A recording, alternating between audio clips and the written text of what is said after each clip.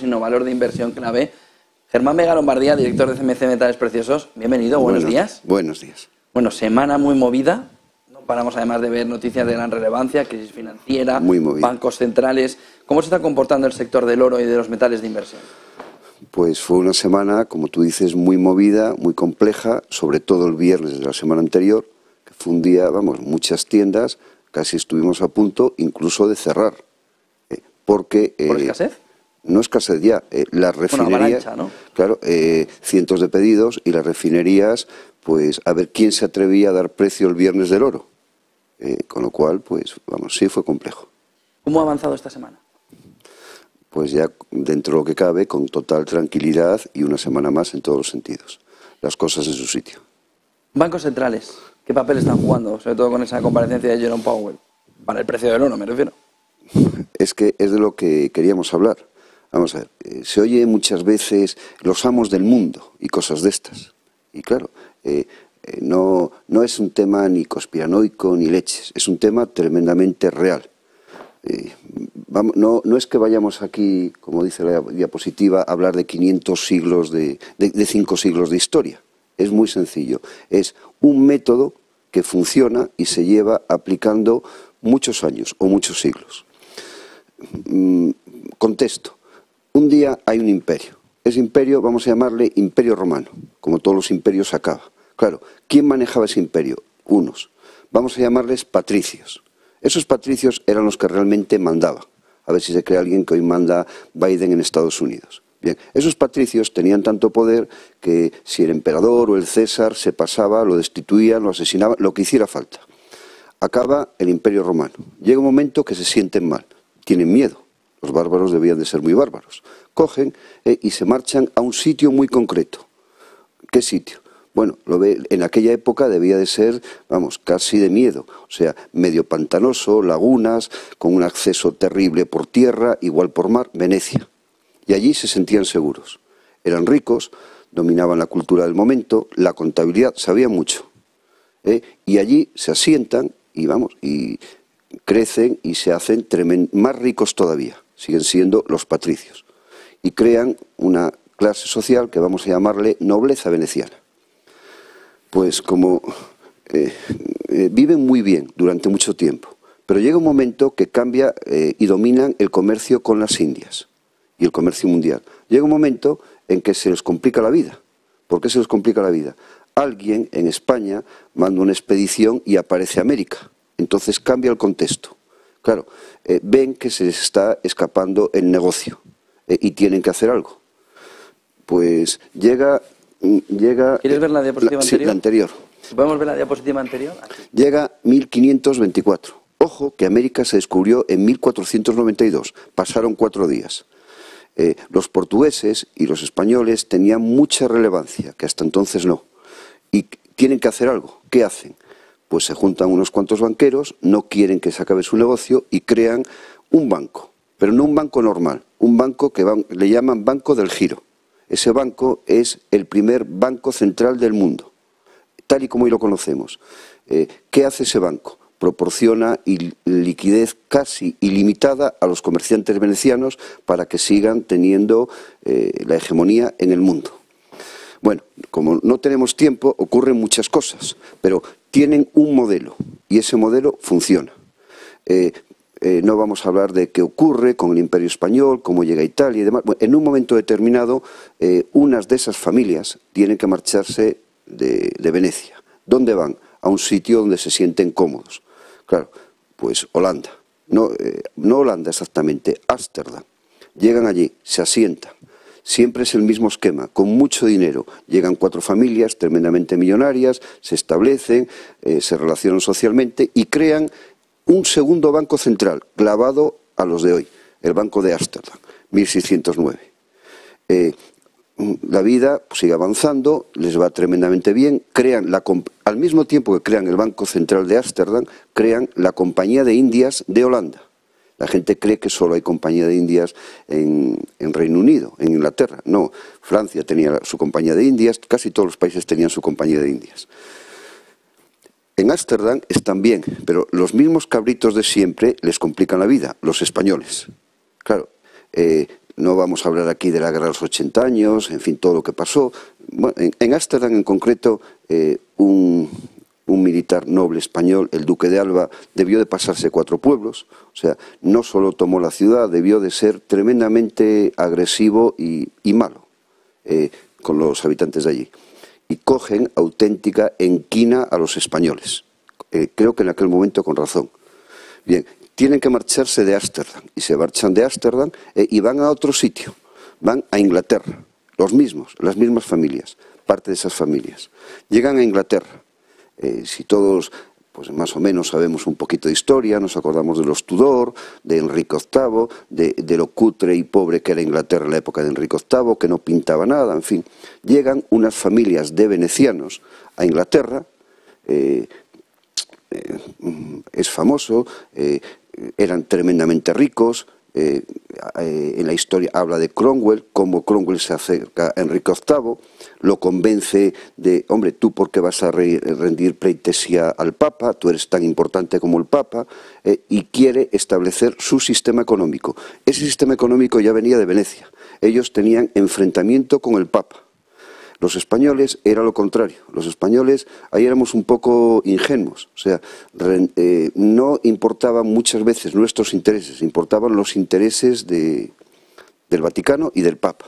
Llegan a Inglaterra y hacen lo mismo. Crean el Banco de Inglaterra, clavado a como hoy es cualquier banco central. Todos son bancos centrales. Crean la Compañía de Indias eh, y hacen grandísima a Inglaterra igual que hicieron grandísima a Ámsterdam, igual que hicieron grandísima a Venecia. En un momento determinado, claro, eh, sigue la historia, pasan muchas cosas y tienen que se trasladan nuevamente. ¿Y a dónde van? A Estados Unidos. Eh, en Estados Unidos no se lo ponen precisamente fácil. Eh, al final, ahí en 1913, llegan a crear casi a hurtadillas, un día eh, por la tarde, un 23 de diciembre, en fin, todos sabemos cómo fue la historia. Y crean la Reserva Federal. Les costó, eh, les, tomó casi 100 años, porque hubo un primer intento, un segundo intento, crearon dos bancos, eran parecidos, tal, pero la Reserva Federal de hoy, tal y como la conocemos, 1913. Bien, ¿qué hace la Reserva Federal? Todo el mundo lo sabe eh, tiene el control económico del imperio dominante en el mundo, igual que han tenido siempre. Controla la moneda, controla las grandes empresas y controla eh, la economía. Siguiendo este esquema, pues siempre controlarán la economía. Ahí hay una casilla y unos puntos suspensivos, porque es muy curioso. Empezamos en el 1524, han pasado 500 años y ahí qué pasa? Sigue siendo exactamente el mismo esquema, no ha cambiado un ápice. Eh, evolucionan, claro, en el 1524 importaban las especias, en un momento determinado, en el 1913 y después el petróleo, va cambiando en un momento antes tal vez la sal, eh, siempre es algo. En el futuro son otras cosas. Ellos dominaban los papelitos, el dinero fiat, en fin, y ellos siempre guardaban el oro. Eh, y a los demás nos daban papeles hay que darse un blanco porque a partir de ahora empezamos a hablar de las monedas digitales de los bancos centrales. Eh, lo harán ellos. Eh, crearán un nuevo banco central. Eh, y es curioso, todos sabemos por dónde van los tiros y dónde estará ese nuevo banco central. Si tú coges Google Earth, por ejemplo, ves la nueva ruta de la seda, ves a lo mejor Pakistán y ves ahí un erial y en el medio de nada, de la nada, ves ahí un puerto gigantesco que no viene, vaya que si tiene sentido. Están creando una nueva ruta de la seda. El presupuesto, como siempre, el Cromwell, el presupuesto que tienen para crear la nueva ruta de la seda es ilimitado. Oficialmente se habla de que solo para cuatro infraestructuras hay, del momento hay 400.000 millones de dólares, o sea, es un tercio del PIB de España. Y hay mucho más. Resumen, crearán otro banco central, eh, eh, eh, ya, no van a comerciar con especias, ahora hay tecnología, hay otras cosas, y seguirán controlando el mundo como han hecho siempre. Hay una cosa muy curiosa también en esto. los españoles, que éramos imperio, que siempre hemos sido el bloque antagónico a este, por eso la leyenda negra no tiene ningún sentido. Lo de Ámsterdam ocurrió en un momento, pero ya no nos odian, no van por ahí los tiros. Ahora es simplemente que ellos creen que no cabemos dos, que o tienen ellos el control o lo tiene otro. O sea, no se puede compartir. Con lo cual eh, hay que tener mucho cuidado con lo hispano. Claro, imagínate que nos uniéramos todos los hispanos. Eh, somos muchos, eh, tendríamos mucho peso. Entonces, en España, pues de alguna forma tienen que dividirnos, catalanes, gallegos, eh, castellanos, lo que haga falta. Y, no aquí, en América igual, no vaya a ser que América se una. Entonces llegan a Argentina, no, tú eres mapuche, tú no eres argentino, tú, tú tienes que tener tu propio Estado. Y se lo creen. Imagínate que cada tribu en América hablase una lengua. Bien, son ellos. Aparte, hay un tema que es muy curioso, el oro. El oro.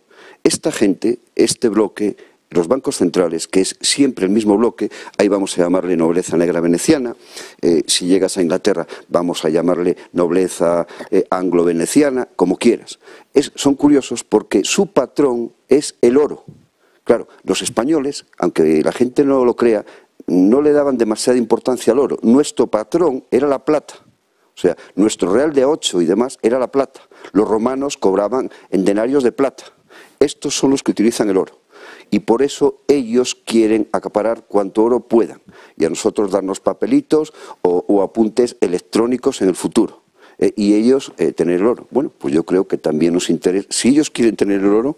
Eh, Mejor tengámoslo todo. exactamente. Los demás también podemos tener un poquito. Y ese es el tema. Entonces, ¿los bancos centrales, en tu opinión, nos han llevado a esta situación? en cualquier situación que se ha producido en la historia reciente y no tan reciente, siempre, siempre, siempre están detrás de ellos. Piensa que idiotas no son, saben muchísimo. Esto nació hace 500 años. Eh, son capaces de crear una guerra. vamos a ver otra diapositiva, sí. Son capaces de crear una guerra. Son capaces de, en la misma guerra, eh, eh, financiar a los dos bandos son capaces de crear una crisis, son capaces de hacer que desaparezca un banco pequeñito, como hemos visto hace unos días, son capaces de que los grandes absorban ese mismo banco, son capaces de hacer... Son capaces de dilapidarse 16.000 millones en unos bonos AT1. Si tú tuvieras una imprenta, ya ni imprenta, eh, y tuvieras la capacidad de emitir los dólares, ¿te preocuparía el dinero? Tal vez no, te preocuparía el control y no perder el control, es lo que está pasando. Eh, no, no les va la vida en perder, que es que ni pierden un banco.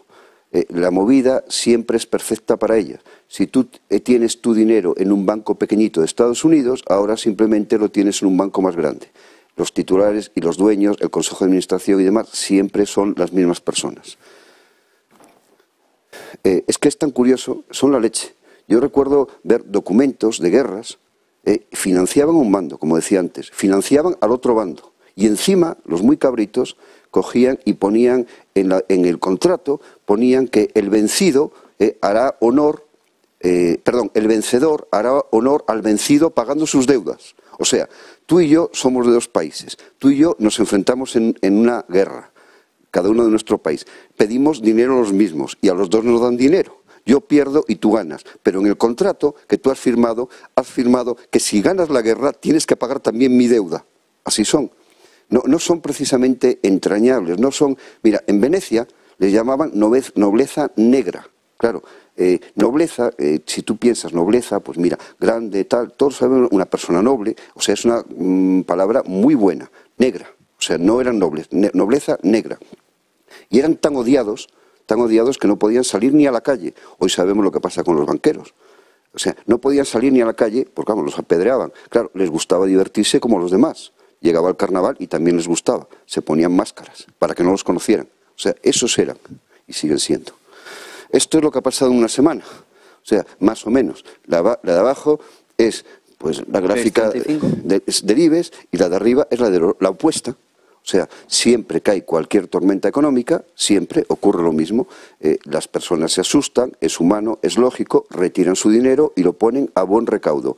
Escampa y cuando escampa vuelven a meter su dinero donde consideran oportuno.